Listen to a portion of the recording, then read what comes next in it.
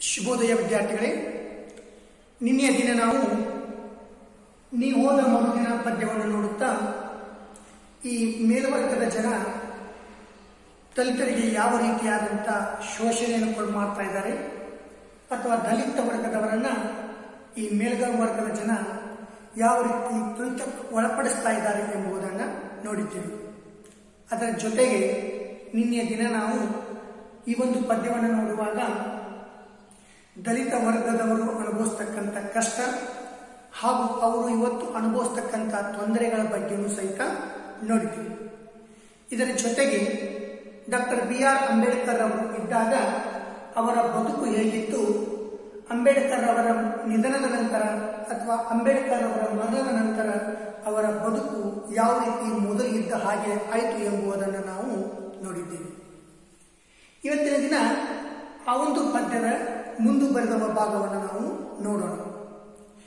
ಈ ಪದ್ಯದ ಮುಂದುವರೆದ ಭಾಗದಲ್ಲಿಯೂ ಸಹಿತ ಕವಿ ದಲಿತರಿಗಾಗ್ತಕ್ಕಂಥ ಅನ್ಯಾಯ, ದಲಿತರು ಉದ್ಧಾರವಾಗಬೇಕಾದ್ರೆ ಅಥವಾ ದಲಿತರು ತಮ್ಮ ಜೀವನದಲ್ಲಿ ಏನಾದರೂ ಸುಧಾರಣೆಯನ್ನು ಮಾಡಿಕೊಳ್ಬೇಕಾದ್ರೆ ಅವರು ಎದುರಿಸುವಂಥ ಕಷ್ಟಗಳು, ಅವರು ಎದುರಿಸತಕ್ಕಂಥ ತೊಂದರೆಗಳು, ಮೇಲ್ವರ್ಗದ ಜನ ಅವರಿಗೆ ಅಡ್ಡಿಪಡಿಸ್ತಕ್ಕಂಥ ಅಡ್ಡಿಗಳು ಏನು ಎಂಬುದನ್ನು ಈ ಮುಂದಿನ ಭಾಗದಲ್ಲಿ ಕವಿಯು ವಿವರಿಸಿದ್ದಾನೆ.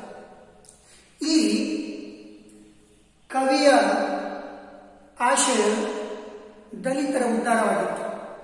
ಅಥವಾ ದಲಿತರನ್ನ ಸುಧಾರಿಸಿ ಅವರಿಗೆ ಉನ್ನತವಾದಂತಹ ಸವಲತ್ತುಗಳನ್ನು ನೀಡಿ ಅವರನ್ನು ಸಮಾಜದ ಮುಖ್ಯವಾಹಿನಿಗೆ ತರಬೇಕೆಂಬುದು ಕವಿಯ ಆಶಯವು, ಅದು ಅಂಬೇಡ್ಕರ್ ಅವರ ಆಶಯ ಆಗಿತ್ತು ಆದರೆ ಡಾಕ್ಟರ್ ಬಿ ಆರ್ ಅಂಬೇಡ್ಕರ್ ಅವರು ಈ ದಲಿತರ ಉದ್ಧಾರಕ್ಕಾಗಿ ಮಾಡಿದಂಥ ಕೆಲವೊಂದು ಕಾಯ್ದೆಗಳು, ಕಾನೂನುಗಳು ಯಾವ ರೀತಿಯಾಗಿ ದುರುಪಯೋಗವಾಗ್ತಾ ಇದ್ದಾವೆ ಅದರ ಜೊತೆಗೆ ದಲಿತರು ಸುಧಾರಿಸುವುದರಲ್ಲಿ ಇರತಕ್ಕಂಥ ಕಷ್ಟಗಳೇನು ಎಂಬುದನ್ನು ಇವತ್ತಿನ ದಿನ ನಾವು ನೋಡೋಣ. ಹೋಗ್ಬಾರೋ ದಾರಿಯಲ್ಲಿ ಅಡುಗಲ್ಲುಗಳು ಸೇರಿ ಮುಳಕಲ್ಲು ಹಾಶಾವು ಪೂರ. ಹೋಗ್ಬಾರೋ ದಾರಿಯಲ್ಲಿ ಅಡುಕಲ್ಲುಗಳು ಸೇರಿ ಮುಳಕಲ್ಲು ಹಾಶಾವು ದೂರ. ಈ ದಲಿತರು ನಿತ್ಯ ಜೀವನದಲ್ಲಿ ಏನಾದರೂ ಕೆಲಸವನ್ನು ಮಾಡಬೇಕಾದಾಗ ಅವರ ಜೀವನದ ಒಂದು ದಾರಿಯಲ್ಲಿ ಅಡುಕಲ್ಲುಗಳು ಅಡುಕಲ್ಲುಗಳು ಅಂತಂದ್ರೆ ನಾವು ಮಾಡ್ತಕ್ಕಂಥ ಕೆಲಸಕ್ಕೆ ತೊಂದರೆ ಆಗ್ತಕ್ಕಂಥ ಕಲ್ಲುಗಳು, ಅಡ್ಡ ಬರ್ತಕ್ಕಂಥ ಕಲ್ಲುಗಳು. ಅಂತ ಕಲ್ಲುಗಳಿಗೆ ನಾವು ಅಡುಗಲ್ಲುಗಳು ಅಂತ ಕರಿತೀವಿ. ಅಥವಾ ನಮ್ಮ ಜೀವನಕ್ಕೆ ಕಷ್ಟವನ್ನು ಕೊಡ್ತಕ್ಕಂಥ, ತೊಂದರೆಯನ್ನು ಕೊಡ್ತಕ್ಕಂಥ ಸಂಗತಿಗಳಿಗೆ ನಮಗೊಂದು ರೀತಿ ಅಡ್ಡವಾಗಿ ಈ ಒಂದು ಕಲ್ಲು ಬಂದಿದೆ ಅಂತ ಕಾಣ್ತೀವಿ. ಆ ರೀತಿಯಾಗಿ ಈ ದಲಿತರು ಬೆಳಗ್ಗೆಯಿಂದ ಸಂಜೆಯವರೆಗೆ ನಿತ್ಯ ಜೀವನದಲ್ಲಿ ಹಲವಾರು ತೊಂದರೆಗಳನ್ನು ಎದುರಿಸಬೇಕಾಗುತ್ತೆ. ಆ ತೊಂದರೆಗಳ ಜೊತೆಗೆ ಅವರು ತಮ್ಮ ಜೀವನವನ್ನು ಸುಧಾರಿಸಿಕೊಳ್ಳಲು ಸಾಧ್ಯವಾಗ್ತಿಲ್ಲ. ಅದಕ್ಕೆ ಹೋಗಬಾರೋ ದಾರಿಯಲ್ಲಿ ಅಡುಕಲ್ಲುಗಳು ಸೇರಿ ಮುಳುಕಲ್ಲುಗಳು ಪೂರ ನಾವು ಏನಾದರೂ ಒಂದು ಕೆಲಸವನ್ನು ಮಾಡಿಕೊಂಡು, ಏನಾದರೂ ಒಂದು ವ್ಯವಸ್ಥೆಯನ್ನು ಮಾಡಿಕೊಂಡು ನಮ್ಮ ಜೀವನ ಸುಧಾರಿಸ್ಕೋಬೇಕು ಅಂತ ನಾವು ಪ್ರಯತ್ನ ಪಟ್ಟಾಗ ನಮಗೆ ಸಾಕಷ್ಟು ಕಷ್ಟಗಳೇ ಬರ್ತಾವ, ತೊಂದರೆಗಳೇ ಬರ್ತಾವೆ ನಮಗೆ ಅಡ್ಡಗಳೇ ಬರ್ತಾವ. ಅದಕ್ಕಾಗಿ ನಮ್ಮ ಜೀವನ ಇವತ್ತಿಗೂ ಸುಧಾರಿಸ್ತಾ ಇಲ್ಲ. ಇದಕ್ಕೆಲ್ಲ ಕಾರಣ ಸಮಾಜದಲ್ಲಿರ್ತಕ್ಕಂಥ ಒಂದು ವ್ಯವಸ್ಥೆ. ಈ ಒಂದು ವ್ಯವಸ್ಥೆಯಿಂದ ಇವತ್ತು ನಮ್ಮ ಜೀವನದಲ್ಲಿ ನಾವು ಸುಧಾರಣೆ ಆಗ್ತಾ ಇಲ್ಲ, ನಾವು ಅಭಿವೃದ್ಧಿಗೊಳ್ತಾ ಇಲ್ಲ. ಕಾರಣ ನಮ್ಮ ಹೋಗುವ ದಾರಿಯಲ್ಲಿ ಮುಲ್, ಮುಳ್ಕಲ್ಲುಗಳು, ಅಡ್ಡಗಾಲಗಳು ಅಥವಾ ಅಡ್ಡಕಲ್ಲುಗಳು ಬಂದು ನಮ್ಮ ಯೋಜನೆಯನ್ನೆಲ್ಲ ಕೆಡಿಸ್ತಾ ಇದ್ದಾರೆ. ಅದಕ್ಕಾಗಿ ನಮ್ಮ ಜೀವನ ಇನ್ನೂ ಸುಧಾರಿಸ್ತಾ ಇಲ್ಲ. ಮುಳ್ಕಲ್ಲು ಹಾಶಾವು ಪೂರ ಹೆಚ್ಚಿಗೆ ಬೆಳೆದವರು, ಉಳಿದವರ ಜೀವಗಳ ಹಗಲಾಗ ಹೊಡೆದವರು ತಾರ ನೀ ಹೋದ ಮರುದಿನ. ನಮ್ಮಲ್ಲಿ ಸಹಿತ ಕೆಲವೊಬ್ಬರು ಬೆಳೆದು ನಿಂತಾರೆ. ಕೆಲವೊಬ್ರು ಏನ್ ಮಾಡ್ಯಾರ ತಮ್ಮ ಜೀವನದ ಆರ್ಥಿಕ ಪರಿಸ್ಥಿತಿ ಶೈಕ್ಷಣಿಕ ಪರಿಸ್ಥಿತಿ ಎಲ್ಲ ರೀತಿಯಿಂದ ಬೆಳೆದು ನಿಂತಾರಲ್ಲ, ಅವ್ರು ಏನ್ ಮಾಡ್ತಾ ಇದ್ದಾರೆ ಅಂತಂದ್ರೆ, ಉಳಿದ ನಮ್ಮ ಜೀವನಕ್ಕೆ ಹೊಡೆದಾರೋಟ ಬೆಳವಣಿಗೆ ಮಾಡಕ್ ಸಾಧ್ಯನೇ ಇಲ್ಲ.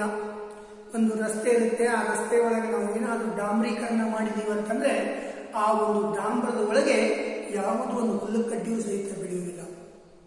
ಆ ಹುಲ್ಲು ಕಡ್ಡಿಗಳಿಗೆ ಕೆಳಗಡೆ ಕುತ್ಕೊಂಡು ಮುಚ್ಚಿಕೊಂಡು ತನ್ನ ಸ್ಥಿತಿಯನ್ನು ತಾನು ಅನುಭವಿಸಬೇಕು. ಆ ರೀತಿಯಾಗಿ ನಮ್ಮ ಸಮಾಜದಲ್ಲಿರ್ತಕ್ಕಂಥ ಕೆಲವೊಬ್ಬರು ಬೆಳೆದು ಮೇಲು ಮಟ್ಟದ ಜೀವನವನ್ನು ನಡೆಸ್ತಾ ಇದ್ದಾರಲ್ಲ, ಆ ಒಂದು ಜನರು ಸಹಿತ ನಮ್ಮನ್ನೇ ನಮ್ಮ ಮೇಲೆ ಎತ್ತಾ ಇಲ್ಲ. ನಮಗೆ ಸಹಾಯ ಮಾಡ್ತಾ ಇಲ್ಲ, ನಮಗೆ ಸೌಕರ್ಯಗಳನ್ನು ಒದಗಿಸ್ತಾ ಇಲ್ಲ, ನಮಗೆ ಸೌಲಭ್ಯಗಳನ್ನು ನೀಡ್ತಾ ಇಲ್ಲ. ಅವರು ನಮ್ಮ ಜೀವನದ ಮೇಲೆ ಏನ್ ಮಾಡಿಬಿಟ್ಟಾರೆ? ಒಂದು ಡಾಂಬರೀಕರಣ ಮಾಡಿಬಿಟ್ಟಾರೆ. ಈ ಡಾಂಬರೀಕರಣ ಮಾಡಿರೋದ್ರಿಂದ ನಮ್ಮ ಜೀವನವೇ ಬೆಳೀತಾ ಇಲ್ಲ. ನಮ್ಮವರೇ ನಮಗೇನು ಮಾಡ್ತಾ ಇದ್ದಾರೆ? ಒಂದು ರೀತಿಯಾಗಿ ತೊಂದರೆಯನ್ನು ನೀಡ್ತಾ ಇದ್ದಾರೆ, ಒಂದು ರೀತಿಯಲ್ಲಿ ನಮಗೆ ಕಷ್ಟವನ್ನು ಕೊಡ್ತಾರೆ. ಅದಕ್ಕೆ ಹೆಚ್ಚಿಗೆ ಬೆಳೆದವರು, ಉಳಿದವರ ಜೀವಿಗಳ ಹಗಲಾಗ ಪರಿಣಾಮ ಹಗಲ ಹಗಲನೇ ಏನ್ ಮಾಡ್ತಾ ಇದ್ದಾರೆ ಅಂತಂದ್ರೆ ನಾವೇನಾದ್ರೂ ಕೆಲಸವನ್ನು ಮಾಡಕ್ಕಂತಾಗ ನಮ್ಮವರೇ ನಮಗೆ ತೊಂದರೆ ಏನ್ ಮಾಡ್ತಾರೆ? ಹೀಗಾಗಿ ನಮ್ಮ ಜೀವನ ಉದ್ಧರಿಸ್ತಾ ಇಲ್ಲ. ಹೀಗಾಗಿ ನಮ್ಮ ಜೀವನ ಮಟ್ಟ ಬೆಳೀತಾ ಇಲ್ಲ ಅಂತ ಕವಿಯಲ್ಲಿ ಏನ್ ಮಾಡ್ತಾನೆ ಹೇಳ್ತಾನೆ, ನೀ ಹೋದ ನೀನಿದ್ದಾಗ ಸಮಾಜದಲ್ಲಿ ಸರ್ಕಾರದ ಎಲ್ಲ ಸವಲತ್ತುಗಳು ನಮ್ಮ ಎಲ್ಲ ವರ್ಗದ ಜನರಿಗೂ ಸಿಗ್ತಾ ಇದ್ದವು ಯಾವಾಗ ನೀವು ಓದಿಯೋ ಆವಾಗಿನಿಂದ ಈ ಮೇಲ್ವರ್ಗ ಉನ್ನತವಾದಂತಹ ಹುದ್ದೆಯಲ್ಲಿರ್ತಕ್ಕಂಥ ವ್ಯಕ್ತಿಗಳು ನಮ್ಮ ಜೀವಕ್ಕೆ ಬಹಳಷ್ಟು ತೊಂದರೆಯನ್ನು ಕೊಡ್ತಾ ಇದ್ದಾರೆ, ನಮ್ಮ ಬೆಳವಣಿಗೆಗೆ ಅಡ್ಡಿಪಡಿಸ್ತಾ ಇದ್ದಾರೆ.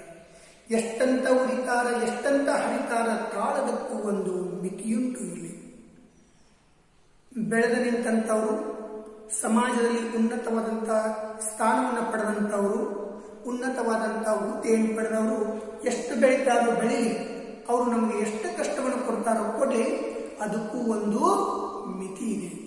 ಅದಕ್ಕೆ ಅದನ್ನು ಎಷ್ಟಂತ ಉಳಿತಾರ ಎಷ್ಟಂತ ಹರಿತಾರ ತಾಳದಕ್ಕೂ ಒಂದು ಮಿತಿಯುಂಟು ಇಲ್ಲಿ.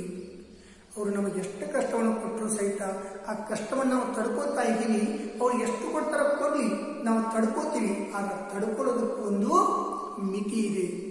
ಎಷ್ಟೇ ಜನ ಮನುಷ್ಯನಿಗೆ ನಾವು ತೊಂದರೆಯನ್ನು ಕೊಟ್ಟಾಗ ತೊಂದರೆಯನ್ನು ತಡ್ಕೊಂಡು ತಡ್ಕೊಂಡು ಆ ಮನುಷ್ಯ ಒಂದು ಸರ ಕೋಪಕ್ಕೆ ಒಳಗಾದಂದ್ರೆ ಏನು ಬೇಕಾದರೂ ಮಾಡಬಹುದು ಅದಕ್ಕಾಗಿ ಈ ಮೇಲ್ವರ್ಗದವರು, ಕೆಳವರ್ಗದವರಿಗೆ ಎಷ್ಟು ತೊಂದರೆ ಕೊಡ್ತಾರ ಕೊಡ್ಲಿ, ನಾವು ಎಲ್ಲವನ್ನೂ ಅನುಭವಿಸ್ತೀವಿ. ಆದರೆ ನಾವು ಅನುಭವಿಸುವಂತ ನೋವಿಗೂ ಸಹಿತ ಒಂದು ಮಿತಿ ಇದೆ. ಹೇಳ್ತಾರೆ, ತಾಳದಕ್ಕೂ ಮಿತಿಯುಂಟು ಇಲ್ಲಿ. ತಾಳಿ ತಾಳಿ ಒಮ್ಮಿ ಚೀಳಾಗಿ ಕುಟುಕುವನು ಸಾಮಾನ್ಯನಲ್ಲೂ ಚೀಳಿ ನೀ ಹೋದ ಮರುದಿನ. ಇಲ್ಲಿ ಹೇಳ್ತಾನೆ ನೀವು ಎಷ್ಟು ಕೊಡ್ತೀರೋ ಕಾರ್ ಕೊಡ್ರಿ, ನಾವೆಲ್ಲವನ್ನ ತಾಳ್ಕೊತೀವಿ ನಿಮ್ಮ ಕಷ್ಟಗಳನ್ನ ಅನುಭವಿಸ್ತೀವಿ, ನಿಮ್ಮ ಕಷ್ಟಗಳನ್ನು ನಾವು ಆದರೆ ಒಂದಿಲ್ಲ ಒಂದು ದಿನ ನಾವು ಆ ಕಷ್ಟಕ್ಕೆ ಪ್ರತಿ ಉತ್ತರವನ್ನು ಕೊಡ್ತೀವಿ. ಅದು ಯಾವ ರೀತಿಯಾದಂಥ ಪ್ರತಿ ಉತ್ತರವನ್ನು ಕೊಡ್ತೀವಿ ಅಂತಂದ್ರೆ ಚೇಳವನ್ನು ನಾವು ಎಷ್ಟೇ ಸರಿ ಬಡದಾಗೂ ಸಹಿತ ಚೇಳು ನಮ್ಮಿಂದ ದೂರ ಹೋಗಕ್ಕೆ ಪ್ರಯತ್ನ ಪಡುತ್ತೆ. ನಾವು ಕೊಡುವಂತ ಕಷ್ಟವನ್ನು ತಡ್ಕೊಂಡು ಅದು ನಮ್ಮಿಂದ ದೂರ ಆಗಕ್ಕ ಪ್ರಯತ್ನ ಪಡ್ತೈತಿ. ಆದ್ರೆ ಒಂದು ಸರಿ ಆ ಚೇಳಿನ ಕೈ ಒಳಗೆ ನಾವು ಸಿಕ್ಕೊಂಡಿವಿ ಅಂತಂದ್ರೆ ಅದು ನಮ್ಮನ್ನು ಕಡಿಯದೇ ಬಿಡುವುದಿಲ್ಲ. ಅದು ಕಡಿದ್ರೆ ಹೇಗಿರುತ್ತೆ ಅಂತಂದ್ರೆ ಅದು ಅತ್ಯಂತ ವಿಪರೀತವಾದಂತಹ ನೋವನ್ನು ಅನುಭವಿಸಬೇಕಾಗುತ್ತೆ. ಹಾಗಾಗಿ ದಲಿತರು ಈ ಮೇಲ್ವರ್ಗದವರು ಎಷ್ಟು ಕಷ್ಟ ಕೊಡ್ತಾರೆ ಕೊಡ್ಲಿ. ಆ ಎಲ್ಲ ಕಷ್ಟವನ್ನು ಅನುಭವಿಸಿಕೊಂಡು ನಾವು ಜೀವನವನ್ನು ನಡೆಸ್ತೀವಿ. ಅನುಭವಿಸಿಕೊಂಡು ಅದಕ್ಕೂ ಒಂದು ನಮಗೆ ತಾಳ್ಮೆ ಇದೆ ನಮ್ಮ ತಾಳ್ಮೆಯ ಕಟ್ಟೆ ಒಡೆದಾಗ ನಾವು ಕೊಡುವಂತ ಪ್ರತಿ ಉತ್ತರ ಹೇಗೆ ಇರುತ್ತೆ ಅಂದ್ರೆ ಅದು ನೀವು ತಡ್ಕೊಳ್ಳಕ್ ಸಾಧ್ಯ ಇಲ್ಲ. ಅಂಥದೊಂದು ನಾವು ಪ್ರತಿ ಉತ್ತರವನ್ನು ಕೊಡ್ತೀವಿ. ನಮ್ಮ ತಾಳ್ಮೆಗೂ ಒಂದು ಮಿತಿ ಇದೆ. ತಾಳಿ ತಾಳಿ ಒಮ್ಮೆ ಚೀಳಾಗಿ ಕುಟುಕವನ್ನು ಸಾಮಾನ್ಯನಲ್ಲೂ ಬಡಜನು ನೀವು ನಮ್ಮನ್ನ ಸಾಮಾನ್ಯವಾದಂಥ ಜನ ಇವರಿಂದ ಎದುರಿಸಕ್ಕಾಗುವುದಿಲ್ಲ ಅಂತ ನೀವು ತಿಳ್ಕೊಳಕ್ ಹೋಗ್ಬೇಡ್ರಿ. ನಮ್ಮಲ್ಲಿಯೂ ಸಹಿತ ಆ ಶಕ್ತಿ ಇದೆ. ನಮ್ಮಲ್ಲಿಯೂ ಸಹಿತ ಆ ಯುಕ್ತಿ ಇದೆ. ನಮ್ಮಲ್ಲಿಯೂ ಸಹಿತ ನಿಮ್ಮನ್ನು ಎದುರಿಸುವಂತ ಸಾಕಷ್ಟು ಉಪಾಯಗಳದಾವ. ಆದರೆ ನಾವು ಸಮಯಕ್ಕೋಸ್ಕರ ಕಾಯ್ತೀವಿ ಆ ಸಮಯ ಬಂದಾಗ ನಾವು ನಿಮ್ಮನ್ನು ಸಹಿತ ನೀವು ನಮಗೆ ಕೊಟ್ಟಂತ ತೊಂದರೆ ತರಲಿ ನಾವು ನಿಮಗೂ ಸಹಿತ ತೊಂದರೆಯನ್ನು ಕೊಡ್ತೀವಿ ಅಂತ ಇಲ್ಲಿ ಕವಿ ಆ ದಲಿತರ ಮೂಲಕ ಹೇಳಿಸ್ತಾನೆ. ದುಡಿದುಂದು ಹುಟ್ಟಿರಲು ಕತ್ತಲಿರುವ ತನಕ ಕೊತ್ತಿಗಳು ಹೊತ್ತಾವು ಜೋ ಭೂಮಿ ಮೇಲೆ ಹುಟ್ಟಿದಂತ ಮನುಷ್ಯ ಕತ್ತಲಿರುವ ತನಕ ದುಡಿದು ದು, ಕುಂಡು ಜೀವನವನ್ನು ನಡೆಸಬೇಕು. ಭೂಮಿ ಮೇಲೆ ಪ್ರತಿಯೊಬ್ಬ ವ್ಯಕ್ತಿಗೂ ಬದುಕುವಂತ ಹಕ್ಕಿದೆ. ಆ ಬದುಕುವಂತ ಹಕ್ಕನ್ನು ಪಡ್ಕೊಂಡು ನಾವು ಇವತ್ತು ಬೆಕ್ಕುಗಳು ಹೇಗೆ ಕೊತ್ತಿಗಳು ಅಂತಂದ್ರೆ ಬೆಕ್ಕುಗಳು. ಇಲ್ಲಿ ಬೆಕ್ಕುಗಳು ಹೇಗೆ ಒತ್ತಾದಾಗ ಸಹಿತ ಬೆಳಗಿನಿಂದ ಸಂಜೀತನ ಜೀವನವನ್ನು ಸಾಗಿಸ್ತಾವೋ ಅದೇ ರೀತಿಯಾದಂತ ನಮಗೂ ಸಹಿತ ದುಡಿದು, ಉಂಡು, ಬದುಕುವಂತ ಹಕ್ಕಿದೆ. ನಾವು ಅಪಶಕುನ ವಿಘ್ನ ತಿಳ್ಕೊಂಡಂತ ಬೆಕ್ಕುಗಳೇ ಇವತ್ತು ಮಣಿ ಒಳಗ ರಾಜಾರೋಷವಾಗಿ ಕಟ್ಟಡಕೊಂಡು ಜೀವನವನ್ನು ನಡೆಸ್ತಾವಲ್ಲ, ಅದೇ ರೀತಿಯಾಗಿ ಸಮಾಜದಲ್ಲಿ ನಮಗೂ ಬದುಕುವಂತ ಹಕ್ಕಿದೆ ನಮಗೂ ದುಡಿಯುವಂತ ಹಕ್ಕಿದೆ ನಮಗೂ ಉಂಡು ಹೊತ್ತಿನವರೆಗೂ ಭೂಮಿ ಮೇಲೆ ಇರುವಂತ ಹಕ್ಕಿದೆ ನಾವು ಸಹಿತ ಹಕ್ಕಿಗಾಗಿ ಹೋರಾಟ ಮಾಡ್ತೀವಿ. ನಮ್ಮ ಬದುಕಿಗಾಗಿ ನಾವು ಹೋರಾಟ ಮಾಡ್ತೀವಿ. ಉಳಿದುಂಡು ಹುತ್ತಿರಲು ಕತ್ತಲಿರುವ ತನಕ ನಾವು ಹುಟ್ಟಿದ ಭೂಮಿ ಮೇಲೆ ತಿನ್ನುವುದು, ದುಡಿಯುವುದು ತಿನ್ನುವುದು, ದುಡಿಯುವುದು ಇಷ್ಟಕ್ಕೆ ಮಾತ್ರ ಹುಟ್ಟಿ ಹುಟ್ಟಿಲ್ಲ. ಹಾಗೆ ಬೆಕ್ಕುಗಳು ಮನೆಯಲ್ಲಿ ರಾಜನಂತೆ ಅಡ್ಡಾಡ್ತಾವೋ, ಆ ರೀತಿಯಲ್ಲಿ ಸಮಾಜದಲ್ಲಿ ಸಹಿತ ನಾವು ಉನ್ನತವಾದಂಥ ಪದವಿಯೊಂದಿಗೆ ಉನ್ನತವಾದಂಥ ಗೌರವದೊಂದಿಗೆ ಬದುಕುವಂಥ ಹಕ್ಕನ್ನು ಪಡ್ಕೊಂಡು ಪಡ್ಕೊಂಡಿರಿ. ಆ ಹಕ್ಕನ್ನು ನಮ್ಗೆ ನೀಡಿ, ನೀನು ಹೋದ ಮರುದಿನ ಇವತ್ತು ನಮಗೆ ಆ ಹಕ್ಕೆ ಸಿಗ್ತಾ ಇಲ್ಲ. ದುಡಿದುಂದು ದುಡಿದುಂಡು ಹೊತ್ತಿರಲು ಕತ್ತಲಿರುವ ತನಕ. ನೀವು ಯಾರು ಬದುಕ್ತಾ ಇದ್ದೀರೋ ಸಮಾಜದಲ್ಲಿ ಉನ್ನತವಾದಂಥ ಸ್ಥಾನದೊಂದಿಗೆ, ಉನ್ನತವಾದಂಥ ಗೌರವದೊಂದಿಗೆ, ಅದೇ ರೀತಿಯಾಗಿ ನಾವು ಚೈತ್ರ ಸಮಾಜದಲ್ಲಿ ಬದುಕುವಂಥ ಗೌರವವನ್ನು ಪಡ್ಕೊಂಡ್ವಿ. ರೋಡಿಗಿದ್ದವರೆಲ್ಲ ಗ್ವಾಡ್ಯಾಗ ಕುಂತಾರೋ, ಇನ್ನಿಲ್ಲ ನಮ್ಮ ದಾರಿ ದೂರ, ನೀ ಹೋದ ಮರುದಿನ. ಇವತ್ತು ಸಮಾಜದಲ್ಲಿ ನಾವೇ ಬಹಳಷ್ಟು ಉನ್ನತವಾದಂತಹ ಹುದ್ದೆಯಲ್ಲಿದ್ದೀವಿ. ನಾವು ಹೇಳಿದಂಗೆ ಉಳ್ಕಾದವರು ಕೇಳಬೇಕು. ನಾವು ಹಾಕಿಕೊಟ್ಟಂತ ನಿಯಮಗಳನ್ನು ಪಾಲಿಸಬೇಕು. ನಮಗೆ ಎದುರುಗಡೆ ಯಾರು ಮಾತಾಡಬಾರ್ದು. ಹೀಗೆಲ್ಲ ರೋಡಿಗೆ ನಿಂತು ನ್ಯಾಯವನ್ನು ಹೇಳ್ತಕ್ಕಂಥ ವ್ಯಕ್ತಿಗಳೆಲ್ಲ ಹೋಗಿದ್ದಾರೆ. ಇವರೆಲ್ಲ ಇವತ್ತು ಗೋಡೆ ಒಳಗೆ ಫೋಟೋ ಹಾಕಿ ಕುಂತಿದ್ದಾರೆ. ಅವು ಇವತ್ತಿನ ಭೂಮಿ ಮೇಲೆ ಇಲ್ಲ. ಅದಕ್ಕಾಗಿ ನಾವು ಸಹಿತ ಒಂದು ಉತ್ತಮವಾದಂತಹ ಜೀವನವನ್ನು ನಡೆಸುವಂಥ ಕಾಲ ದೂರಿಲ್ಲ. ಹಿಂದಿನ ಕಾಲದಲ್ಲಿ ವರ್ಣ ಪದ್ಧತಿ ಅಂತಿತ್ತು ಆ ಒಂದು ವರ್ಣ ಪದ್ಧತಿ ಒಳಗೆ ಕೆಲವೊಂದು ಜಾತಿಗಳು, ಕೆಲವೊಂದು ಧರ್ಮಗಳು ಅಥವಾ ಕೆಲವೊಂದು ವರ್ಣಗಳು ಉನ್ನತವಾದಂಥ ಸ್ಥಾನವನ್ನು ಪಡೆದುಕೊಂಡರೆ ಇನ್ನೂ ಕೆಲವೊಂದು ವರ್ಣಗಳು ಅತ್ಯಂತ ಕೆಳಮಟ್ಟದ ಕೆಲಸವನ್ನು ಪಡೆದುಕೊಂಡಿದ್ದು ಅಥವಾ ಕೆಳಮಟ್ಟದ ಸ್ಥಾನವನ್ನು ಪಡೆದುಕೊಂಡಿದ್ದು, ಇವತ್ತು ಉನ್ನತವಾದಂಥ ಸ್ಥಾನ ಪಡ್ಕೊಂಡವರೆಲ್ಲ ಹೋಗಿಬಿಟ್ಟಾರ, ಅವರು ಇವತ್ತು ಬಾಡಿ ಒಳಗ ನೆನಪುಗಳಾಗಿ ಹೋದಾರ. ಅದಕ್ಕಾಗಿ ನಾವು ಸಹಿತ ಅವರಂತೆ ಬದುಕುವಂಥ ಕಾಲ ದೂರಿಲ್ಲ. ನಾವು ಸಹಿತ ಅವರು ಹೇಗೆ ಉತ್ತಮವಾದಂಥ ಗೌರವದೊಂದಿಗೆ ಉನ್ನತವಾದಂಥ ಸ್ಥಾನದೊಂದಿಗೆ, ಸಕಲ ಸೌಕರ್ಯದೊಂದಿಗೆ, ಸೌಲಭ್ಯಗಳೊಂದಿಗೆ ಹೆಂಗೆ ಜೀವನ ನಡೆಸ್ಯಾರಲ್ಲ ಅದೇ ರೀತಿಯಾದಂಥ ಜೀವನವನ್ನು ನಡೆಸುವಂಥ ಕಾಲ ದೂರಿಲ್ಲ. ನಾವು ಸಹಿತ ಅದೇ ರೀತಿ ಬದುಕಿ ತೋರಿಸ್ತೀವಿ. ಇದಕ್ಕೆಲ್ಲ ಕಾರಣ ಯಾರು ಅಂತಂದ್ರೆ, ಇವತ್ತು ಅಂಬೇಡ್ಕರ್ ಅವರು ನಮಗೆ ಹಾಕಿಕೊಟ್ಟಂಥ ಸ್ವಾತಂತ್ರ್ಯ ನಮಗೆ ನೀಡಿದಂತ ಸಂವಿಧಾನ, ನಮಗೆ ನೀಡಿದಂತ ಸವಲತ್ತುಗಳಿಂದ ನಾವು ಸಹಿತ ಉತ್ತಮವಾದಂಥ ಜೀವನವನ್ನು ನಡೆಸ್ತೀವಿ. ರೋಡಿಗೆದ್ದವರೆಲ್ಲ ಗ್ವಾಡ್ಯಾಗ ಕುಂತಾರು, ಇನ್ನಿಲ್ಲ ನಮ್ಮ ದಾರಿ ದೂರ. ನೀ ಹೋದ ಮರುದಿನ. ನೀ ನಮಗೆ ಸಾಕಷ್ಟು ಅನುಕೂಲವನ್ನು ಮಾಡಿಕೊಟ್ಟಿದ್ದೀಯ. ಕಾಯ್ದೆಯ ಬೆಂಬಲವನ್ನು ನೀಡಿದ್ದೀಯಾ. ನಮಗೂ ಸಂವಿಧಾನದಲ್ಲಿ ಅವಕಾಶಗಳನ್ನು ಕಲ್ಪಿಸಿಕೊಡ್ತೀಯ ಅದಕ್ಕಾಗಿ ಸಹಿತ ನಾನು ಉತ್ತಮವಾದಂತಹ ಜೀವನವನ್ನು ನಡೆಸುವಂತ ಕಾಲ ದೂರುವುದಿಲ್ಲ ಆ ಕಾಲಿಗಾಗಿ ನಾವು ಕಾಯ್ತಾ ಇದ್ದೀವ ಒಂದಿಲ್ಲ ಒಂದು ದಿನ ನಾವು ಸಮಾಜದಲ್ಲಿ ಉತ್ತಮವಾದಂತಹ ರೀತಿಯಲ್ಲಿ ಜೀವನ ನಡೆಸ್ತೀವಿ. ಆ ಒಂದು ದಾರಿ ಇನ್ನೇನು ಬಹಳ ಸಮೀಪ ಬಂದಿದೆ.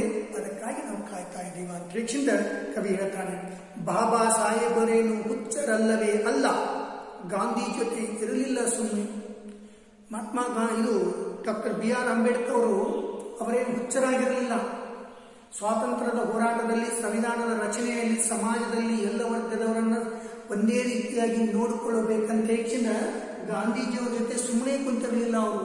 ಗಾಂಧೀಜಿಯವರ ಜೊತೆಗೆ ಈ ಕೆಳವರ್ಗದವರಿಗೆ ಉನ್ನತವಾದಂತ ಒಂದು ಸ್ಥಾನವನ್ನು ಕಲ್ಪಿಸಿಕೊಡಬೇಕಂತ ಸಾಕಷ್ಟು ಹೋರಾಟವನ್ನು ಮಾಡ್ತಾ ಇದ್ರು. ಅವರಿಗೆ ಸುಮ್ಮನೆ ಕುಂತ್ಕೊಂಡು ಅವರಿಗೆ ಹುಚ್ಚರ ತರ ಇರಲಿಲ್ಲ. ಅವರು ಸಮಾಜದಲ್ಲಿರ್ತಕ್ಕಂಥ ಕೆಳವರ್ಗದ ಜನರ ಉದ್ಧಾರಕ್ಕಾಗಿ ಹೋರಾಟ ಮಾಡ್ತಾ ಇದ್ರು. ಅದಕ್ಕೆ ಬಾಬಾ ಸಾಹೇಬರೇ ಹುಚ್ಚರಲ್ಲವೇ ಅಲ್ಲ, ಗಾಂಧಿ ಜೊತೆ ಇರಲಿಲ್ಲ ಸುಮ್ಮನೆ ಅವರು ಗಾಂಧಿ ಜೊತೆ ಸುಮ್ಮನೆ ಇರಲಿಲ್ಲ.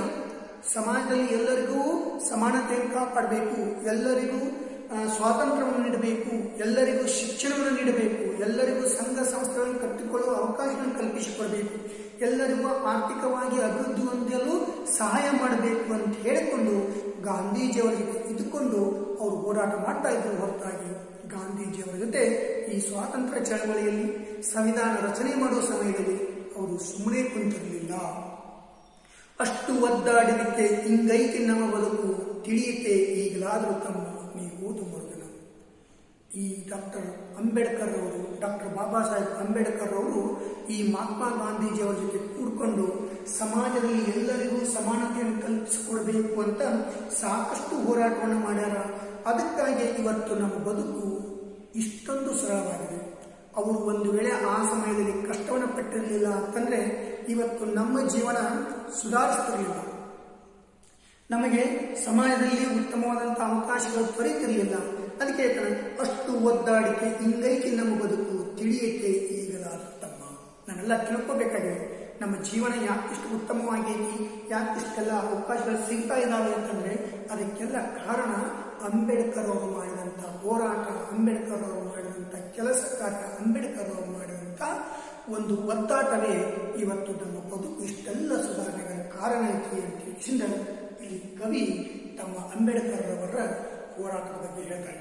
ವಿದ್ಯಾರ್ಥಿಗಳಿಗೆ ಈ ಒಂದು ಪದ್ಯದಲ್ಲಿ ಡಾಕ್ಟರ್ ಚೆನ್ನಣ್ಣ ವಾಲಿಕಾರ್ ಅವರು ಅಂಬೇಡ್ಕರ್ ಅವರು ಕೆಳವರ್ಗದ ಜನರ ಉದ್ಧಾರಕ್ಕಾಗಿ ಕೆಳ ಜನರ ಜೀವನದ ಸುಧಾರಿಸೋದಕ್ಕೋಸ್ಕರ ಸಮಾಜದಲ್ಲಿ ಅವರಿಗೆ ಉತ್ತಮವಾದಂತಹ ಒಂದು ಅವಕಾಶವನ್ನು ಕಲ್ಪಿಸಿಕೊಡಬೇಕಂತ ಯಾವ ರೀತಿಯಾದಂತಹ ಅವರು ಹೋರಾಟವನ್ನು ಮಾಡಿದರು, ಯಾವ ರೀತಿಯಾದಂತಹ ಅವಕಾಶವನ್ನು ಕಲ್ಪಿಸಿಕೊಟ್ರು, ಮೇಲ್ವರ್ಗದವರು, ಕೆಳವರ್ಗದವರನ್ನ ಯಾವ ರೀತಿಯಾಗಿ ತಿಳಿತಕ್ಕೊಳಪಡಿಸಿದರು ಎಂಬುದನ್ನು ಕವಿ ತನ್ನ ಪದ್ಯದ ಮೂಲಕ ಹೇಳಿದ್ದಾನೆ. ನಾಳೆ ದಿನ ಈ ಒಂದು ಪದ್ಯದ ಅಭ್ಯಾಸ ಭಾಗವನ್ನು ನೋಡೋಣ.